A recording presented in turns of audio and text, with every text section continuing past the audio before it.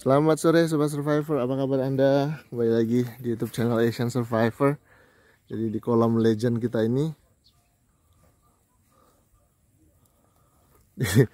Oh ini ada pentolan Pandawa Junior ini Halo kawan, gimana kabarmu? Baik, Sudah kelas berapa sekarang? 9. Sudah kelas 9? Ya, Berarti nanti SMA ya? ya. Rencana mau SMA di mana nanti? Tarakan. Oh mau pindah ke Tarakan? Ya, Kenapa nggak di sini aja? Nggak ada tempat tinggal. sama si Abel di sini. Jadi mau pindah ke Tarakan nanti ya? Ya, Ada keluarga di Tarakan? ada.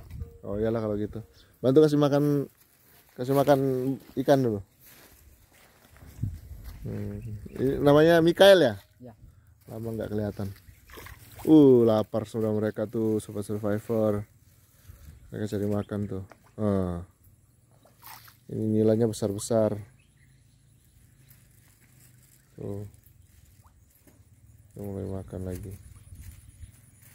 Jangan dipancing ini ya. Tunggu besar sekalian. Stabil nanti. Hah? Natal. Ya. Kalau yang satunya namanya siapa ini? Hah? Namanya siapa ini? Yang satunya? Elias. Hah? Elias. Elias. Oh ya, habis panen ya. Panen di sana tadi. Desa, jangan banyak-banyak, dikit lagi. Tar- Taruh lagi dikit lagi. Nah, sudah cukup lah. Tunggu mereka ada sarapan. Kalau kamu namanya siapa? Mixel. Mixel. Iya, Kelas berapa sudah kamu? kelas 2. Kalau Elias, kelas berapa? Kelas 9. Kelas 9. Sekarang lucu penyebutannya.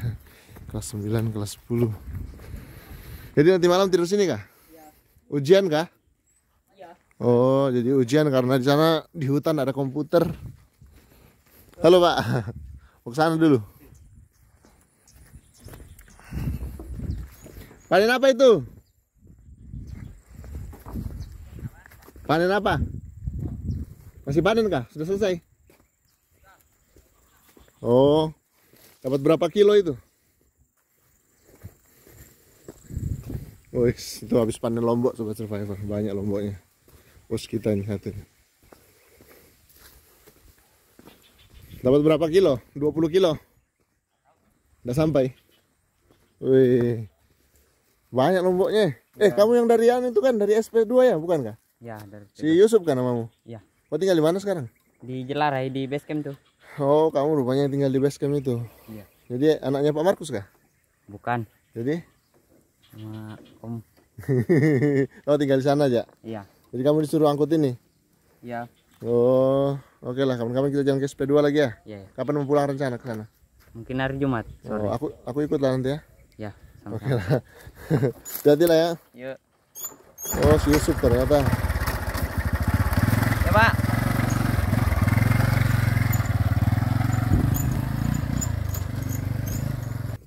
Oke, sobat survivor, kita lanjut lagi ke sana. Itu di sana sedang proses panen eh, gambas oleh Pak Yon. Pak Yon adalah mentor kebun Bang Yusran. Ya, Kebetulan Bang Yusran lagi sibuk membersihkan lahan. Eh, jadi sepertinya yang memanen gambas ini cuma Bapak Yon gambasnya sudah mulai siap panen. Memang memang belum semua tertanami. Sebelah sini sudah sudah dibuat lagi gulutan seperti ini sobat survivor. Nah, di sini sudah ada gulutan. Tuh, ini tanam cabai di sini. Dipersiapkan gulutan dengan metode alternatif ya. Jadi eh menggunakan rumput sebagai mulsa alami. Terus di sebelah sana memang skalanya belum luas, tapi ini sudah eh, cukup jadi modal. Jadi dari hasil ini mereka sudah bisa beli beras seperti itu. Saya tidak pernah tanya berapa pendapatan mereka, tapi yang jelas itu sudah cukup untuk modal awal mereka. Dan siap untuk memanen gambas sepertinya. Panen yang ketiga ini mereka akan terus panen dan bahkan bisa sampai lima bulan bila mana terawat. Jadi sudah mulai menutupi semua di atas ini. Nanti bakal menutupi semua sobat survivor. Tuh buah-buahnya bisa kelihatan di atas. Nah, buah-buahnya sudah mulai tampak menghiasi Ya kalau sudah tertutup semua nih cantik nih. Nah, sudah ada yang dipanen ternyata. Kita melihat Pak Yon memanen gambas. Luar biasa sobat survivor.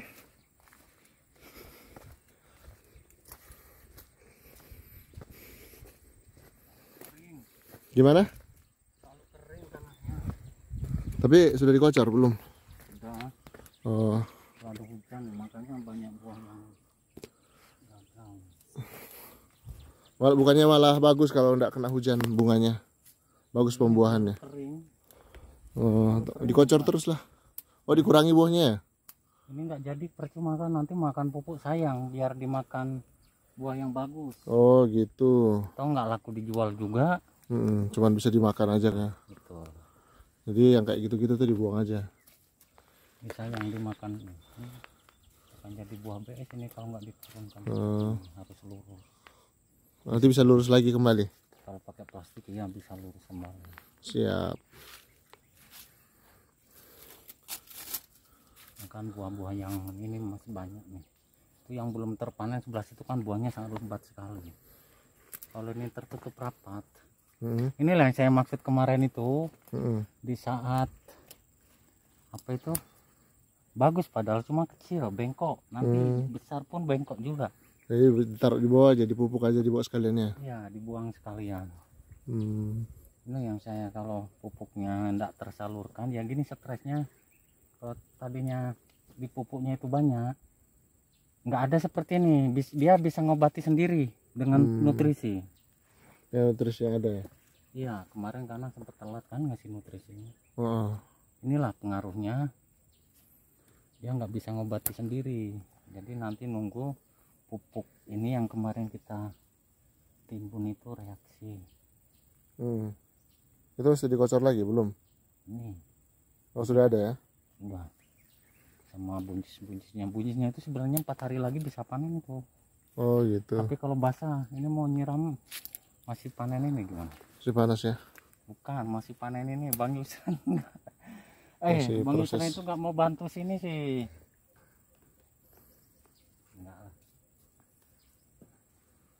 Lanjut selanjutnya. Yang kering-keringnya tuh dipotong ya. iya dibuang Hmm. mengurangi jadi jangan terlalu dirusak nanti karena ini dapurnya diikat ini nih nih kalau diikat jadinya seperti ini nih jelek kan terikat Hmm. Lanjut lagi. Nah ini sudah mulai tebal ya. iya Hmm. ini nanti turas ini kan nutup ke atas ini sih kena pas mau ke sini hantam angin jadinya ke sana ke sini Hmm. Ada pengaruh angin juga. ya hujan lebat kemarin tuh kan Hmm. jadi Ya barusan katanya mau tanam apa nih sebelah sini? Jagung Iya, kena jagung. pupuk juga. lomboknya pun itu harusnya Sudah kena siram ya.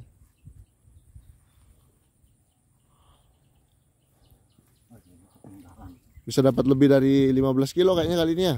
Lebih banyak buahnya sekarang. Ya kan? ada kayaknya ada. Oh sekarang yang kecilnya juga sudah diambil ya. terlihat dari sini besar Oh. barang dipetik ini nih besar nih. nggak bisa ini harus dipetik agak kecil katanya dari warnanya nggak menyenangkan oh gitu. warnanya berubah Kalau sudah terlalu besar. Agak kasar nih contohnya yang tadi mas nih nanti warnanya akan berubah kasar seperti ini Hmm. kurang disenangi hmm, gitu. ini mentok paling besar segitu Oke, kata pembakurannya siap.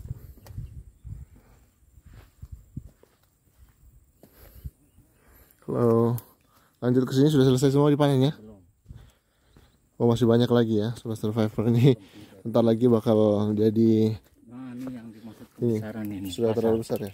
Kasar nih kan yang dimaksudin kasar Tuh. Iya. Oh sudah mulai keluar anunya urat-uratnya ya. ya nggak disuka gini kalau gambar anggur memang Cepat ya. banyak yang disuka warna-warnanya pekat Hmm. seharusnya ini kalau gabah sanggun ini segini nih sekilo tiga yang paling diminati di sini gambas anggun anggun Hmm. Yang panjang-panjang itu. ya cuma di arah lain nggak suka nah yang sedang seperti ini permintaan yang beli Heeh. itu seperti ini sekilo lima Mm-mm. sekilo lima ini sebenarnya Siap. yang paling diminati di sini ini yang sekilo lima Bagus juga dibuat seperti ini ya, mulsa alami ya. Jadi untuk mencegah Iya. pertumbuhan rumput. biar lembab terus Hmm. jadi nyiram bisa seminggu sekali Mm-mm. jadi agak mengurangi beban beban tenaga kita nyiram-nyiram gitu ya Tapi kayaknya dalam waktu dekat bakal hujan kayaknya. Nanti malam hujan kayaknya. mudah-mudahan semalam udah panasnya luar biasa biasa aku kira mau hujan nggak jadi juga ini dari empat pack Mm-mm. ada sekitar tiga batang satu dua yang warnanya paling aneh Beda Ba- jenis ya? terlalu biru tidak Hmm. beda jenis entah mungkin perkawinannya mana ya Bukan yang silang dengan dengan semangka mungkin ya. dengan gambas lain cuma gagal gagal nikah lah Hmm. kayaknya gagal nikah mana ya satu batang di sini udah kembali lagi Ini sudah panen ya. karena ini yang disukai Mm-mm. Itu di bawah tuh ada di bawah. Yang jangan yang di bawah tuh udah kelewat itu pak. belum Ada sana tuh satu. mana tuh? Di proning pak? Oh panen. Kenapa lebih memilih menggunakan gunting pak? Nggak manual aja pakai tangan. eh nggak bisa rusak Oh rusak ya, busuk ya. iya mana tadi Itu di bawah tuh, paling bawah. Belum ya? Itu? Belum Oh belum. Ini baru satu tempat, ini sudah ada 5 kilo kayaknya. ada lebih. Lebih sudah. Nah di sini mau dikocor nanti, mau disiram nanti Sobat Survivor. Karena beberapa hari tidak hujan. Tapi pertumbuhannya sangat bagus sih. Sudah memperlihatkan buah boncisnya tuh Sobat Survivor. Nah, buah boncisnya sudah mulai kelihatan. Keren banget.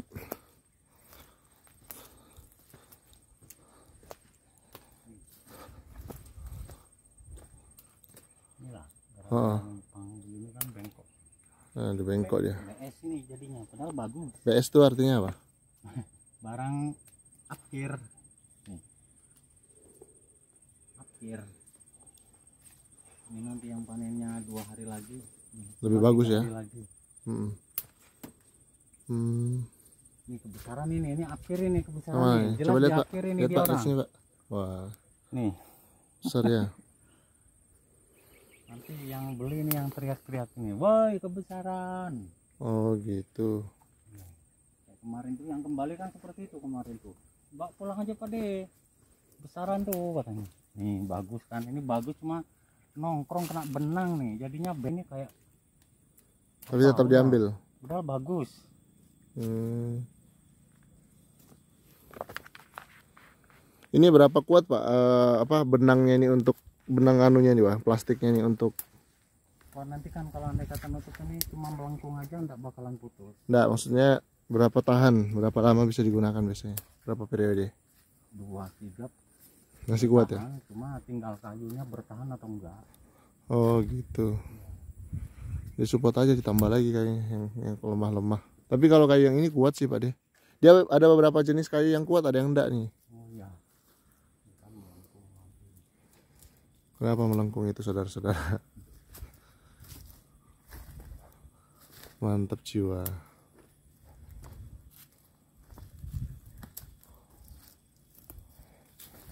Nah,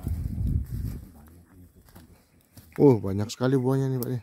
belum siap panen sekarang ini Belum yang namanya panen. buah sakit Hmm. buah sakit apa ya dipetik sekarang kekecilan dipetik nanti kebesaran ini yang Oh, namanya gitu. buah sakit dipetik sekarang kekecilan Hmm. ini kan kecil nanggung Hmm. Dibetik lusa kebesaran Hmm. Aromanya itu tajam ya, Pak ya. ya banyak ini bisa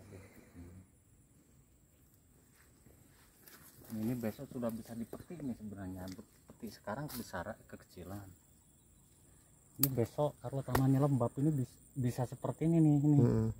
karena tanahnya lembab Belum panen puncak nih, Pak ya. belum Wow. nanti ini kalau tertutup rapat tunas tunas ini naik Hmm. sebenarnya ini harinya sudah pucuk ini tunas ini seharusnya naik sudah. Aku pik aku pikir sudah nanam cabai Pak deh. itu apa sudah ditanam Oh sudah ditanam dalam tuh? sudah itu Mas- yang itu tuh Masih dibungkus sama rumput? ya karena kalau nggak dibungkus sama rumput Nggak mati dia? panas karena bibit cabut Nggak, ma- nggak mati dia tuh? Gitu. udah kering nanti malam mau disemprot sama ini Hmm. supaya Tapi lama-lama tanahnya ini aku yakin bagus loh Pak. Maksudnya lama-lama digarap kan bisa lebih bagus dari yang ini gitu. ya, betul Asapnya bisa turun kan? ya betul Hmm. tinggal tanya aja ini mau ditanamin apa selanjutnya mau ditumpang sari Hmm, Tergantung tinggal ngomong aja Pak deh. yang penting bisa menunjukkan apa hasil bagus, ya saya senang.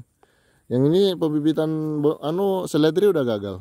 iya tinggal mungkin dapat satu bedeng nanti dikembangkan lagi kita nyari anakannya aja Buat yang bagus lah pembibitannya nanti nanti kita harganya berapa? 75 25 25. ini kekecilan Buat pembibitan yang bagus saja nanti kita apa upayakan lah. ya Kalau bisa sebagus ini kan sebuah apa namanya nilai estetika tersendiri gitu. Apalagi melihat panjenengan semua di sini bisa sukses itu juga tentu kebahagiaan buat kita gitu kan. artinya ada rasa senang lah Iyalah, sudah ada jauh-jauh dari Lampung ndak ndak ndak berhasil ya kasihan juga panjenengan. iya nah. nah ini yang aku maksud ini Itu yang paling bagus ya. dikawinkan dengan Itu yang warna biru ya. Wah, iya ini yang heran di situ hilang tinggal muncul di sini sama di mana tadi itu? Paling aneh. Hmm. Warnanya Sampai- beda sendiri ya. sampai kemarin kita debat sama yang satu satu satu benih. Nggak ada yang beda benih karena satu sa- apa? Satu paritas. Aneh dia ngotot aja paritas ini. Bukan. Pantat nanti bisa membesar cuma daripada ngerusak nutrisi mendingan diturunin aja. Pengaruh kadang kurang air itu ya. ya kurang air jadi nutrisi yang sudah kita kasih itu tidak terserap secara maksimal Hmm. Itu rusak pecah ya. ini nanti masuk masuk buah kedua ini masuk kedua kalau mau dimasukkan sama dia sama yang beli Hmm.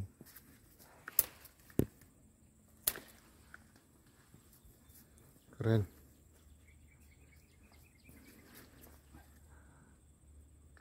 Sebenarnya kalau buah Itu sana tuh semua hari ini bisa dapat 20 kilo lebih. Cuma sayang petikannya nggak serempak. Aduh. Artinya kalau besarnya merata hari ini bisa dapat banyak tuh Ini ada satu nih besar nih.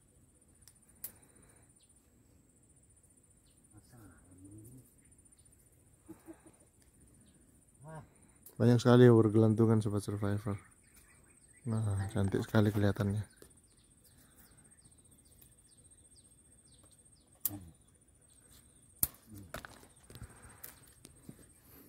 Dan ini adalah kalang terakhir.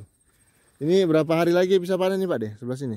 Mana ini lima hari lagi pak bisa dipetik ini buncis nih Lima hari lagi bisa asalkan basah nih, asalkan basah lima hari lagi bisa dipanen Iya, lumayan juga nih sobat survivor. Ini Panen perdana di kebun buncis Bang Yusran dan Pak Yon berkolaborasi. Kolaborasi semacam inilah yang memang dibutuhkan dalam pertanian ya. Dan uh, bisa menghasilkan hasil pertanian yang jauh lebih bagus. Suasana jauh lebih adem saat ini. Dan uh, selanjutnya kita bisa melihat di sini persiapan untuk tanam cabai. Ini jauh lebih luas. Dan di sana nanti kemudian ditanami dengan tanaman lain seperti daun sop atau seledri. Ke sananya lagi mungkin nggak tahu lah mau tanam apa lagi. Tapi yang jelas kita mulai melihat banyak perkembangan dari kebun yang dikelola secara modern. Ini memang membutuhkan semangat dan kerja keras yang tinggi. Namun saya bisa melihat semangat itu dari Pak Yon, Bang Yusran dan juga petani-petani yang lain di sini. Memang dibutuhkan kolaborasi, keseriusan dan juga kerjasama yang kuat antar petani untuk bisa mendapatkan hasil yang maksimal.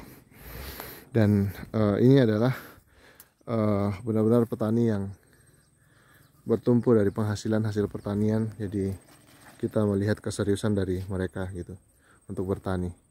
baik sobat survivor jadi itu uh, mungkin yang bisa kita sampaikan dari kebun ini kebun Bang Yusran ini dan juga Pak Yon berkelola berkolaborasi di sini doakan kita terus diberikan kesehatan sehingga kita bisa terus uh, memotivasi para petani yang bertani di lokasi ini. Tetap semangat tetap survive Asian Survivor